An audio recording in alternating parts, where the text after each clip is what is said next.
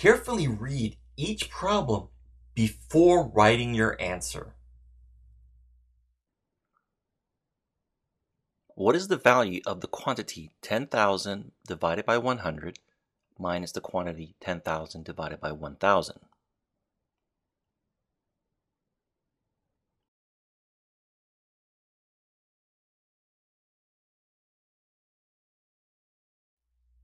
Now this particular problem looks rather complicated, but it's actually very easy. I recommend you do a rewrite. For example, I can have 10,000 divided by 100 this way, minus 10,000 divided by 1,000. And the nice thing about this setup is that you can just cancel the zeros top and bottom. So this just gives you 100 over 1, which is 100. Do the same thing over here. Well, it just gives you 10 over 1, which is 10. 100 minus 10 is 90. How many lines of symmetry are there in the following figure?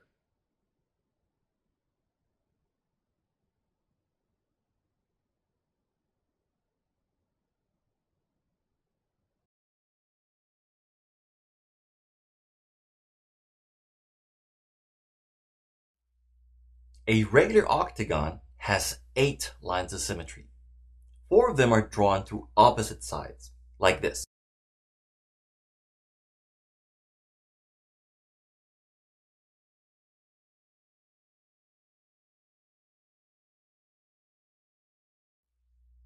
And the other four are drawn through opposite vertices.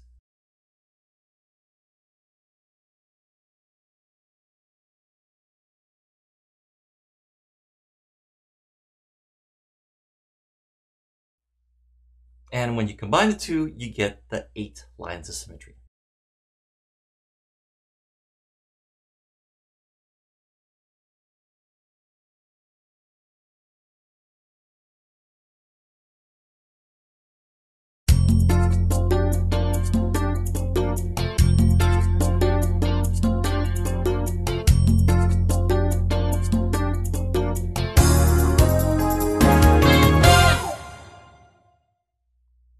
Here are some reminders for when you are completing this extended constructive response task.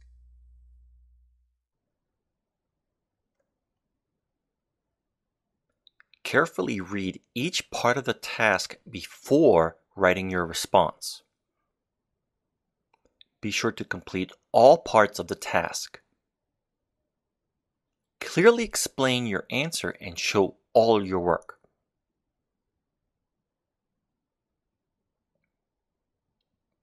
Carlos wrote the following sequence of numbers on the blackboard 2, 6, 18, 54. He explained that the rule for his pattern is multiply by 3, since each number is 3 times as much as the number coming before it.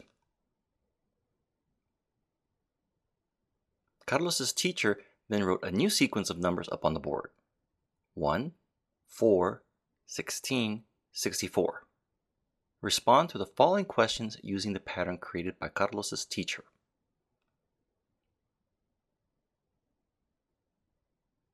What is the rule for the pattern? Explain your reasoning. What would be the next two numbers in the pattern? Will the number 1100 be part of the pattern? How do you know?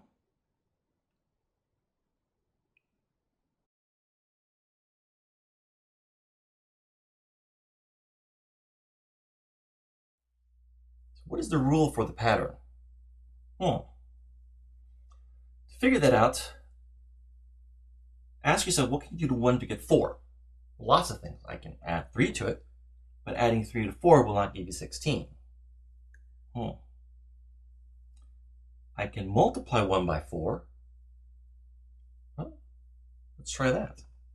1 times 4 is 4. 4 times 4 is 16. 16, hey, I think I see a pattern here. Times 4 is going to be 64. So the rule is going to be rule. multiply by 4. Explain your reasoning. Well, you could start out by just listing what I just did. Say 1 times 4 is 4. 4 times 4 is going to equal 16. 16 times 4 is 64. Then you can continue writing down a more detailed sentence. For example, therefore, each term in the sequence is four times as much as the term before it. Now you're being asked what would be the next two numbers in the pattern. Just apply our rule. So the answer is going to be 256 and 1024. Why? Well, because just multiply. 64 times 4 is 256, and 256 times 4 is 1024. Finally, they're asking, will the number 1100 be part of the pattern? How do you know? Well, to answer that, all you really need to write down is 1100 would not be part of the pattern since 1024 times 4 has a result that skips 1100.